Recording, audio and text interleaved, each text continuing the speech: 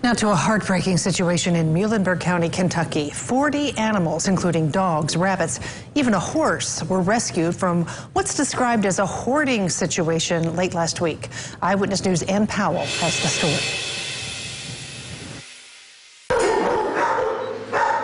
Deplorable conditions. That's what rescuers describe the environment when rescuing dozens of animals from a breeder. Outside in makeshift kennels, Uh, 55 gallon drums for housing, and you know, and just tarps like for the roof. Rescuers say the animals were found living in waste and had no clean water. When the Muhlenberg County Humane Society saw how dire the situation was, they called for help. Of course, it takes a village to come and save us that day. In total, 38 dogs, at least two of which were pregnant. Two rabbits and a pony were rescued. It Takes a Village took in 32 dogs, and the Muhlenberg Humane Society took in six dogs. Many of them were border collies. From our understanding, they were being kept exclusively outdoors.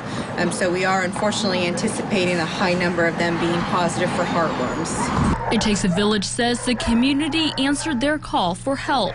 and the following days, over half of the dogs were sent to foster homes.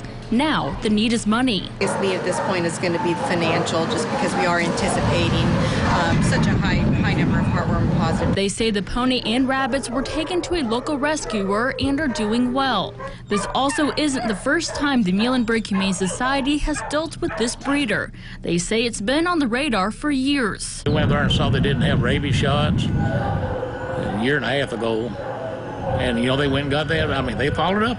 The Muhlenberg County Sheriff's Office also tells Eyewitness News this case is considered a surrender, so they expect no charges to be filed in this case.